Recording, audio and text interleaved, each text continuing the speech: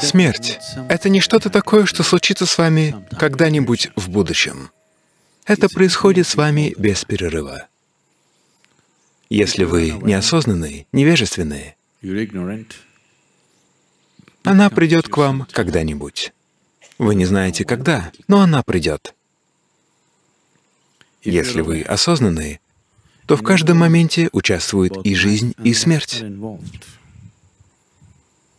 Если вы будете хотя бы дышать немного более осознанно, вы заметите, что в каждом вдохе есть жизнь, в каждом выдохе есть смерть. Если вы не понимаете этого, просто сделайте выдох, а затем не делайте следующий вдох, и тогда вы все поймете.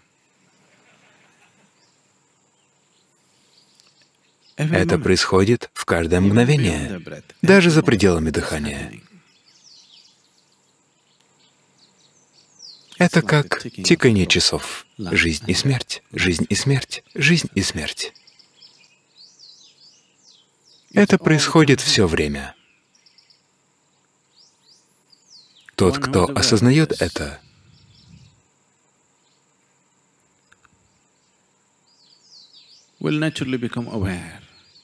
естественным образом осознает, что не существует жизни и смерти.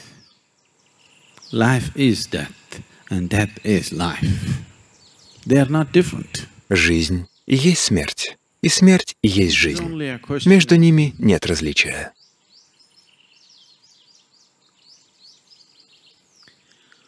Утроба матери, рождение, рост,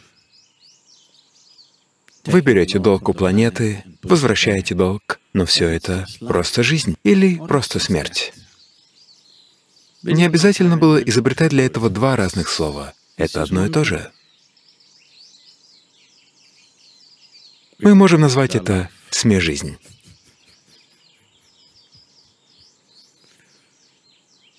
Потому что это не две разные вещи.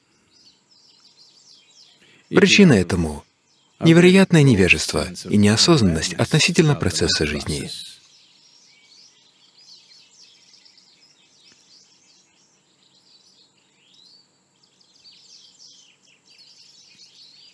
Потому что те удивительные дары, которыми было осыпано человечество, мы используем как игрушки.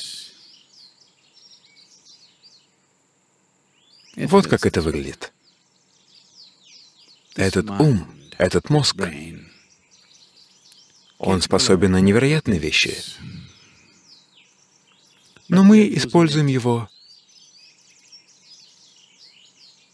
как игрушку. Нет. Людям вроде нравятся игрушки, не так ли? Огромный процент человечества так страдает от ума, что понемногу. сейчас входит в моду учения «Как избавиться от ума». Для развития такого уровня ментальных способностей потребовались миллионы лет.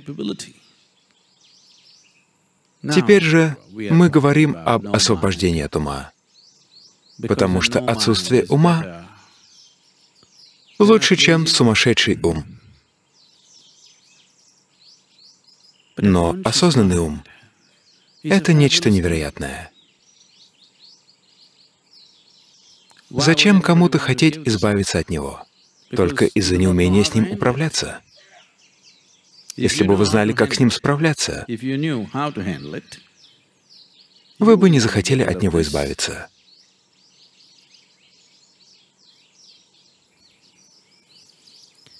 Люди ищут умиротворения.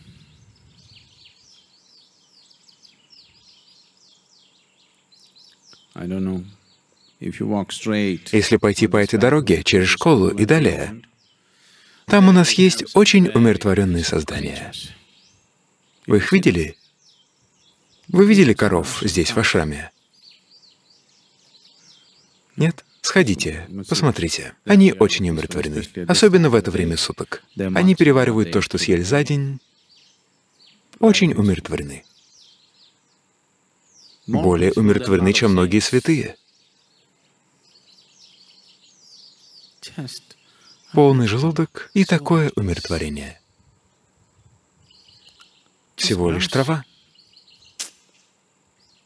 И этого достаточно.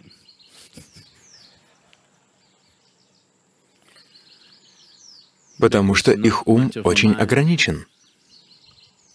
Даже для того, чтобы прийти к смятению, потребуется ум с определенными способностями.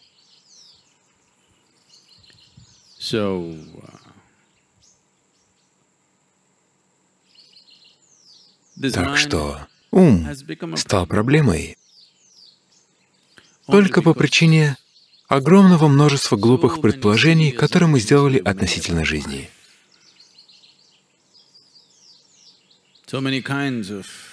Мы нанесли на жизнь камуфляж, не видя ее такой, как она есть, придумывая самые разные идеи о ней.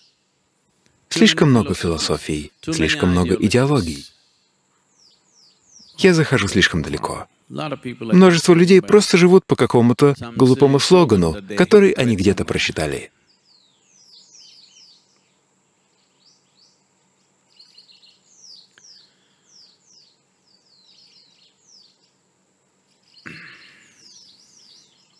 Однажды, рядом с одной африканской деревней, появился лев-людоед.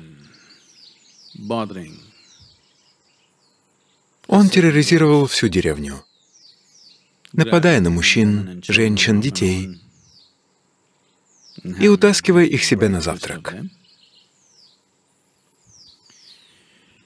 или на ужин. Они не знали, как быть с этим львом, потому что это было очень грозное животное. Так что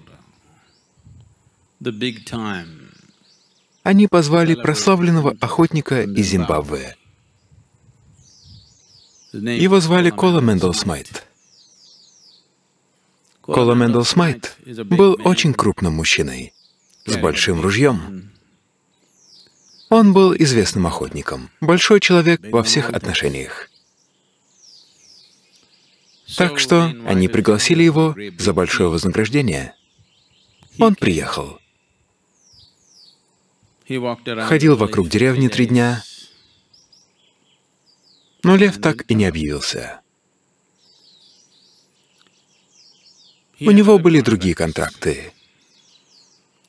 Так что он сказал, мы просто теряем мое драгоценное время. Сделаем вот что.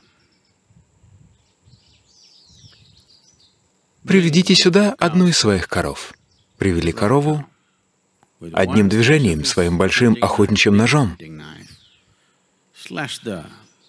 Он перерезал глотку животного, освежевал тушу, взял шкуру еще свежую и накрылся ей в качестве маскировки. Спрятал под ней свое ружье и отправился в поле, изображая, словно он пасется. Деревенские жители были очень впечатлены всем этим. И все ожидали, что в тот же день он пристрелит этого льва. Внезапно они услышали леденящие кровь крики этого Кола Мендела Смайта. Все ринулись посмотреть, что случилось.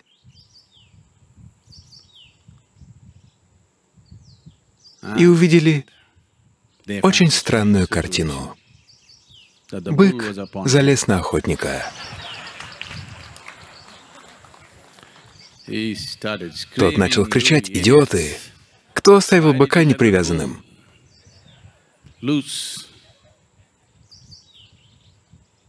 Так что вы не знаете, как это вас достанет. Со смертью также. Вы не знаете, как она вас достанет, до тех пор, пока не осознаете. То, что вы называете жизнью, и то, что вы называете смертью, — это не две разные вещи. Тот, кто не способен принять смерть, никогда не познает жизнь.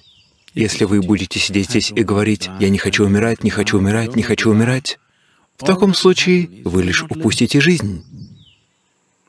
В любом случае вы умрете, но вы совершенно точно не будете жить.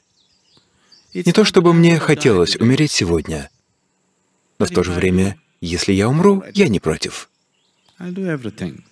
Я сделаю все, чтобы защитить себя, позаботиться о себе. Но если мне придется умереть сегодня, я не против. Тогда я могу сделать шаг и начать жить, иначе я не смогу жить. Басва, святой. и великий поэт, который говорил на языке Канада, преданный, мудрец и мистик,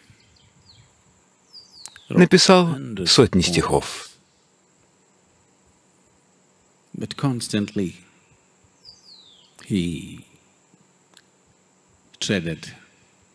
Он очень много написал о смерти, много о жизни, но много и о смерти.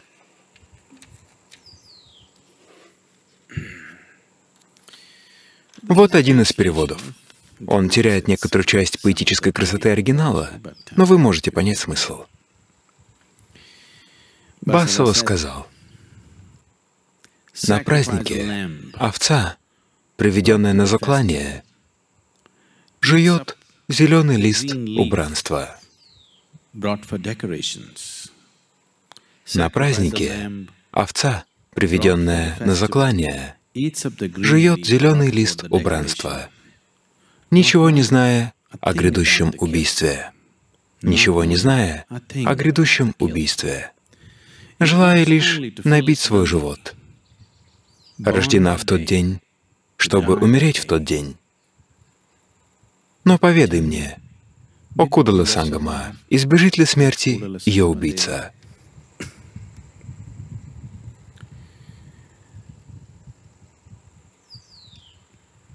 Для невежественных смерть приходит. Для тех, кто осознан, смерть не приходит, смерть присутствует. Как существует жизнь, так существует и смерть.